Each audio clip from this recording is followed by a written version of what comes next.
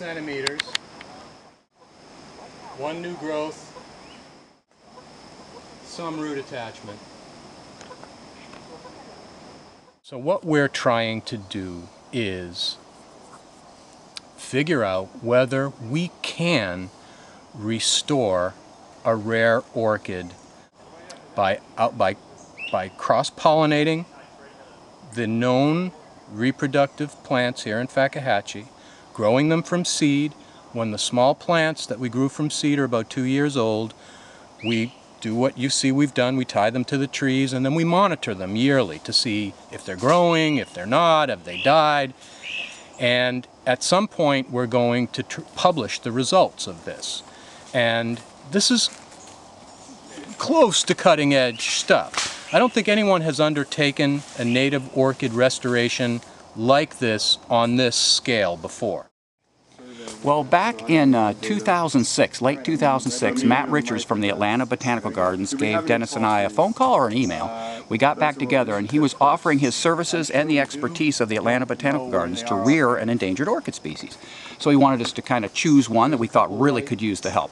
Uh, Dennis and I talked about it. We decided the cowhorn orchid or cigar orchid uh, is one of those rare species. It is listed as endangered on the state list of plants. And uh, we knew of only about 17 at that time, back in 2007. So we started learning about when they would bloom and then how to pollinate them. And we ended up creating one seed pod with our pollination attempt in 2008. And that pod developed in 2009. And that's the first one that went to Atlanta Botanical Garden. And then Matt started coming down in 2009 and they know how to pollinate the orchids much better. So a lot more seed pods were produced in 2010 and 11 and 12. So the project really took off once we got Matt Richards down here to do the pollination. Now we've planted about 600 plants out here, all from hand pollination of different flowers and from different plants. We've kind of created a stud book so we know that each seed pod comes from what parents. You have to know that when you're doing these conservation projects because you want to try to preserve the genetic diversity of the population with as many specimens as possible. So far we have eight and I believe now nine uh, different plants represented in this population of over 600 young plants that we've now placed back out into the Fakahatchee strand. This is a species that was really heavily collected in the early part of the 20th century by the wagon loads.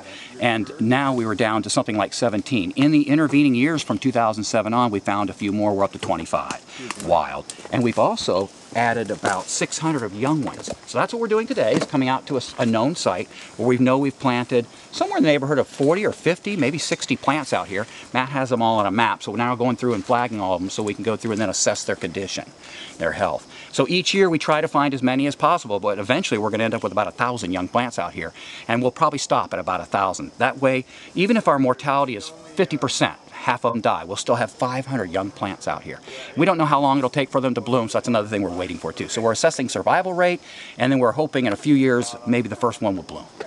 In the 1940s, we logged this swamp, and all the host trees, which were the cypress, we believe, um, were basically this orchid we're restoring lost all its host species and then the, the forest structure changed. Now all the plants, which you'll see later today, occur on rotting cypress stumps, you know, from where they logged. We're trying to get the plants back up into the trees so they can release seed into the wind and repopulate. So we're doing this because man had a direct effect through logging and overcollection of this species. So here we have a chance to do something good that we've, or reverse what we've done basically. We're hoping that other people around the world will be able to learn from what we've done to repatriate or restore orchids that were wiped out from the wild or are very, very rare and need a helping hand to continue to persist in the wild. For us, it's sort of an ethical thing. We're part of the species that wiped these orchids out or made them very rare we want part of our legacy to be that we protected them and we brought the ones back that we could.